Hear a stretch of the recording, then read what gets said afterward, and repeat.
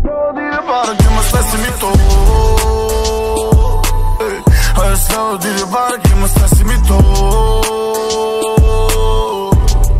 Mmm, e beh, sicuro già